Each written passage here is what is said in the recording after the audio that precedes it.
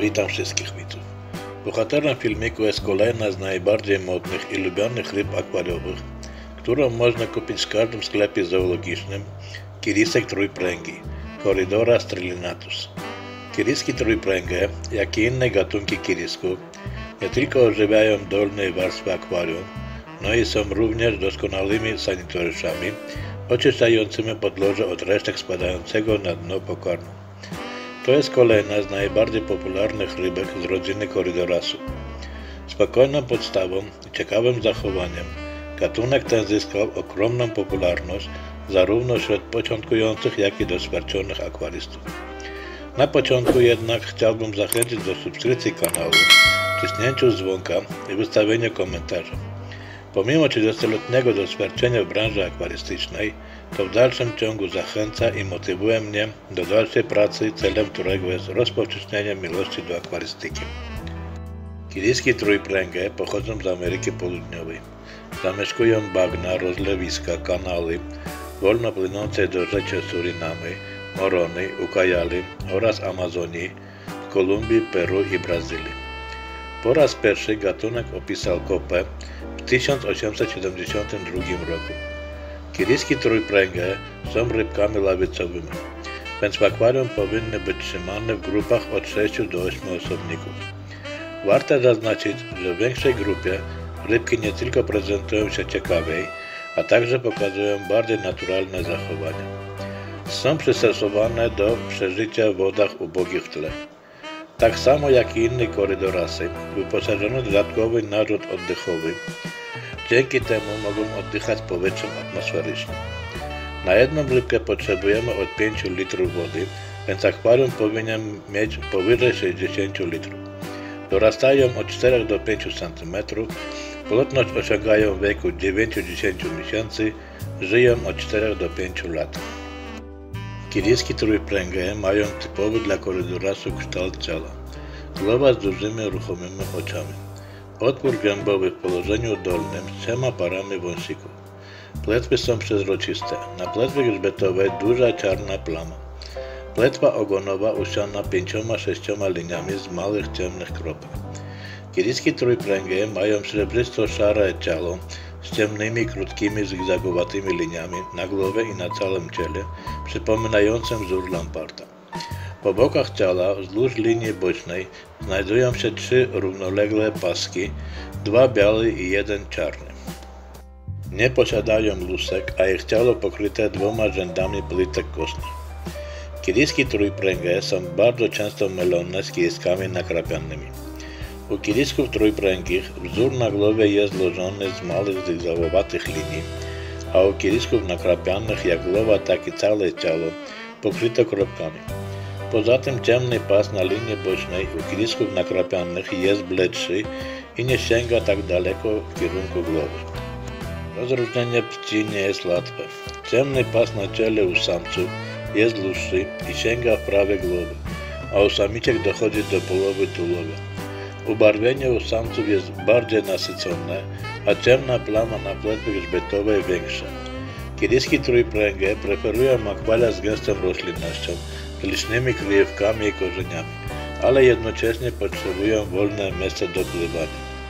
Potrzebna filtracja i aeracja wody, ale bez silnych prądów z tygodniową podmianą do 25%. Optymalne parametry wody, temperatura 22-26, pH od 5,8 do 7,2, GH od 2 do 12. Naturalnym środowisku kiriski odżywiają się niewielkimi bezkręgowcami, larwami, zooplanktonu, glonami.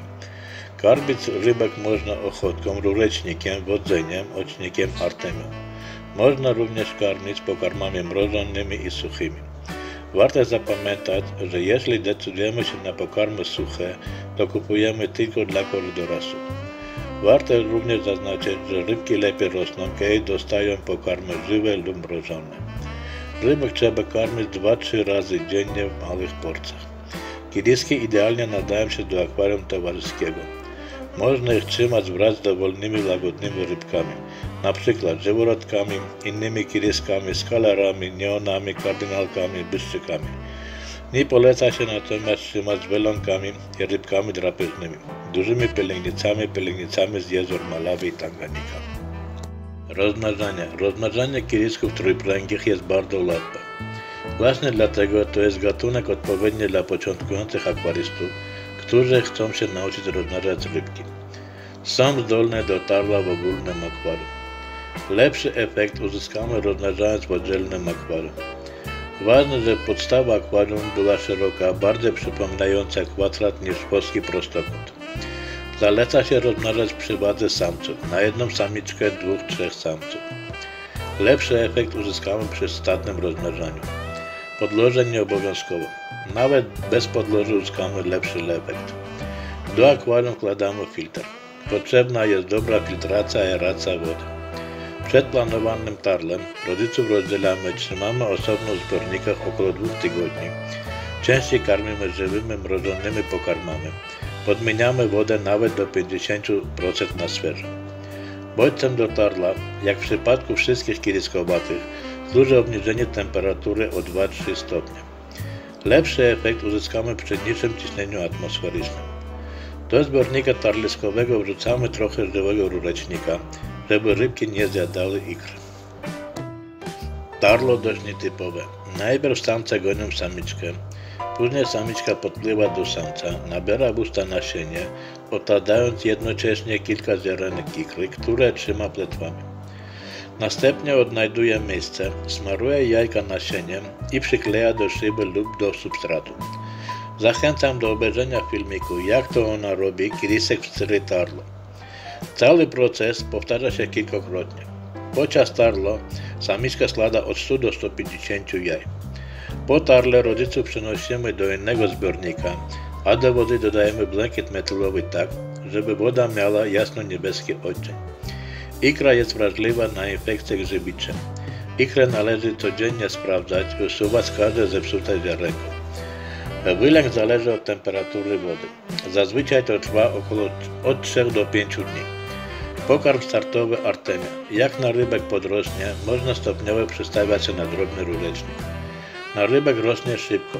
Karmić trzeba często około 5-6 razy dziennie. W pierwszym tygodniu oświetlenie powinno być włączone przez całą dobę. Bardzo ważne, żeby pokarm dla narybku był dostępny cały czas w małych ilościach. Woda w akwarium z narybkiem powinna być zawsze czysta. Potrzebne są ciągle drobne podmiany. Zachęcam do obejrzenia filmiku Obowiązki akwarysty sprzątania, w którym pokazuję jak ja to robię w akwarium z narybkiem. Na tym wszystko. Wszystkie pytania i komentarze proszę pozostawiać pod filmikiem. Dziękuję bardzo. Do widzenia.